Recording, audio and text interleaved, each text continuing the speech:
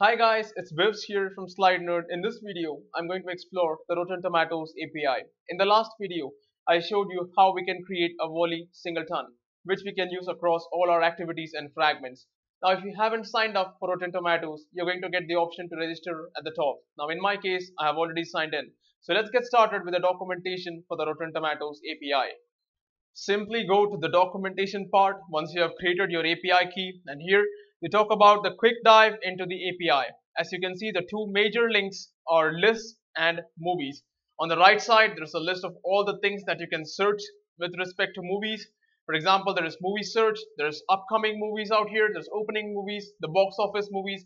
Now, we are not going to use every single URL out here inside our app. We are going to use some of them, specifically movie search, box office movies, upcoming movies, movie info, and movie cast and movie reviews. Now let's take a look at what these APIs do. In other words, everywhere you have a URL like this and you're supposed to enter your API key which you got inside your email at the time of registering here. In my case, I have simply created a temporary email account for the duration of making this video. So here is my API key which I'll be using to test Rotten Tomatoes API as long as I'm working with this app. The first endpoint that I would like to explore is the movie search. As you can see, it gives you the URL here where you can enter your API key. The three parameters that you can pass here are Q, that is the plain text query that you want to search, which in our case is going to be retrieved from an edit text or a search view placed inside the toolbar. And of course, we will get to that when we design the UI. Then there's the page limit here, which says by default it's 30. In other words, the amount of movie results to show per page. Now, in our case, we are going to use a swipe to refresh layout with a recycler view inside that layout. So when the user swipes up or swipes down, we are going to simply load more results from different pages out here. So that's fine with us. 30 results per page is pretty good. In fact, we can stick to 10 if you want. And then there's the page here, which is the page number. Again, we'll have to maintain an index to this and simply increment it inside our app somewhere so that the recycler view knows exactly which page to load when the swipe to layout refresh is triggered. Now at this point, if you feel un uncomfortable with the swipe to refresh layout and if you're not able to understand what I'm saying, don't worry about it because in the next video when we get to code, I will show you down and dirty how to work with the swipe refresh layout and how we can make our recycler view paginate with these different results. So this is the API example. Now let's take a look at our simple call with our API that we have. So example call and response look at the fields that the ones that we are in now total here is 591 i think it's the number of movies that it's showing inside its result. There's the title which we need. We are going to display that. The year we don't need this. We can probably display the release date for the movie which will be more specific in our case. And then there's of course the ratings the critic score and the audience score which we are going to need. And the synopsis here is null but i believe there will be a synopsis. And i don't plan to display that inside our recycler views item because what I believe is that we should let the person click on the recycler views item, then show a detailed info about that movie where we include our synopsis. Now poster images, there are four of them, but the funny thing is they're all of the same size. So I click open that image, this is the simple small image which I see, which I believe is 85 into 75 or something like that. So further go and take a look at the other images, they're all of the same size. I wonder if that's the case for every single movie result out here. If that is the case, then what we will have is simply the image displayed and the title displayed adjacent to the image inside our recycler views item. Other than that, there's the cast info over here. We are going to display the cast when the user clicks on an item in the recycler view as part of the details of that movie. Again, there's links here. Now, let's, let, let's explore this API and see how we can use it. Simply take this link here, enter that in your new tab. We need to enter our API key. In my case, this is my temporary API key which I have retrieved with the help of a temporary account which I will use only for the duration of this video. Simply go here, enter your API key. We also need to enter the search term. If you remember, Q required false, everything is optional here. Let's just try what happens when we enter this. So it says link template blah blah blah but it has not given us any results because we have not entered the search term. We are supposed to enter it like this Q equals to the search term page limit is the results per page and page equals to page number. So in our case, we'll simply enter the search term for now as q equals to the, I don't know what is going to come out of that result, just enter and notice how I have written the plus super, it's URL encoded. You're supposed to separate words and URL encode them the same way. Now let's try enter and see what happens. So at this point, there is something coming up. It says The Gallows. And then there's another movie here, I think. National Theatre Live, Man and Superman. Alright, so there are some results that are popping up. In fact, there is a lot of results out here. And it says 212 results. Since it's going to display 30 results in each page, let's go to the bottom and find out what is happening. So here, all the way at the bottom, we have links to the next page over here. So if you open that link here, again that's going to say account is inactive because we have to enter the API key here. So I'll simply go here and say and API key the same way, copy, copy that part from here and API key equals to blah blah blah.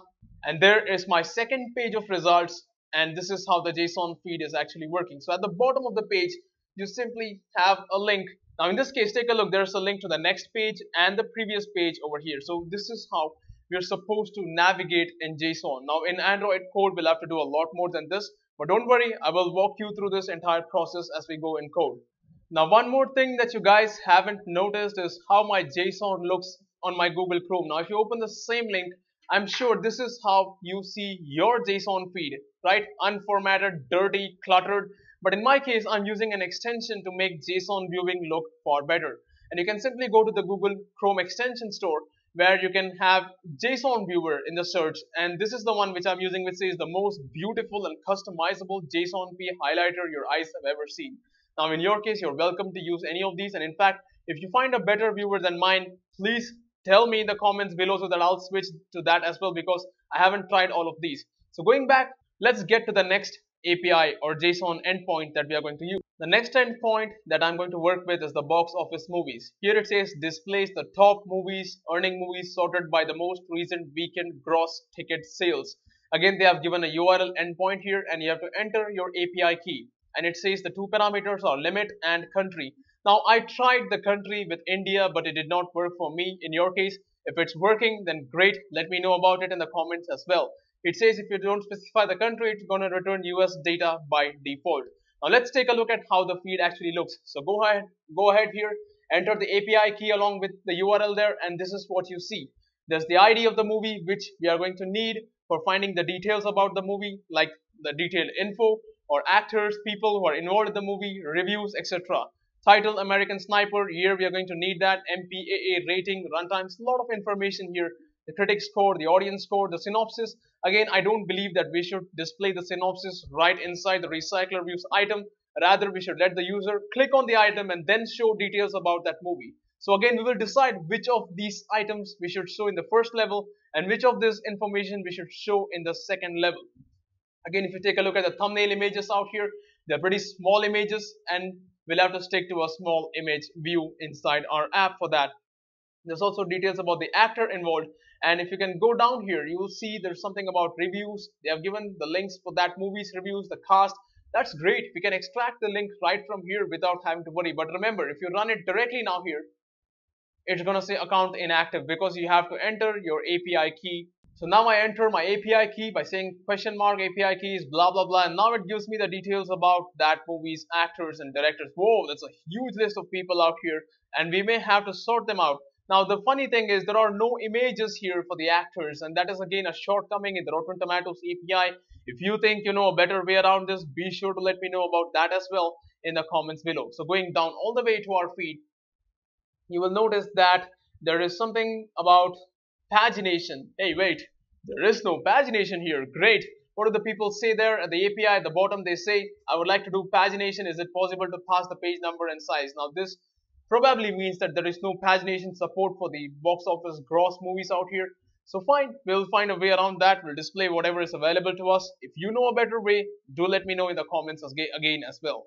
The upcoming movies API shows you the list of upcoming movies out there. It says the results are paginated if they go past the specified page limit. Again, there's a page limit here, which means there are going to be several results out there. Again, this format is pretty much similar to what we saw earlier when we talked about movie search same kind of ID, title, year, rating, blah, blah, blah. So I'm not going to get into the details of how we are going to use this endpoint.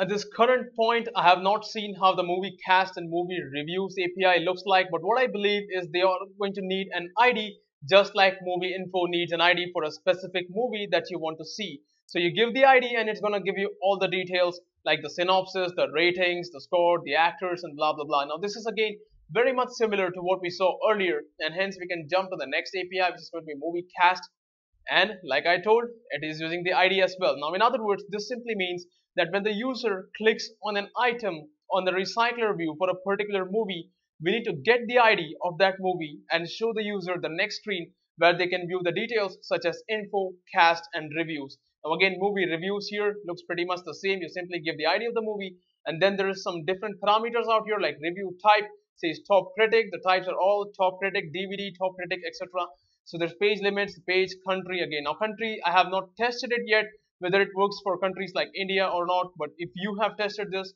you can tell me in the comments below. So this is basically the complete walkthrough that i gave you on how we can use the json api for different endpoints on rotten tomatoes. In the next video let's use this endpoint inside and make our recycler view fetch data with a swipe to refresh layout. In the meantime, if you like what you saw, please like this video, share this video, subscribe to slidenerd let us know your thoughts in the comment boxes below. Thanks for watching. I'll catch you guys in the next video. Have a nice day.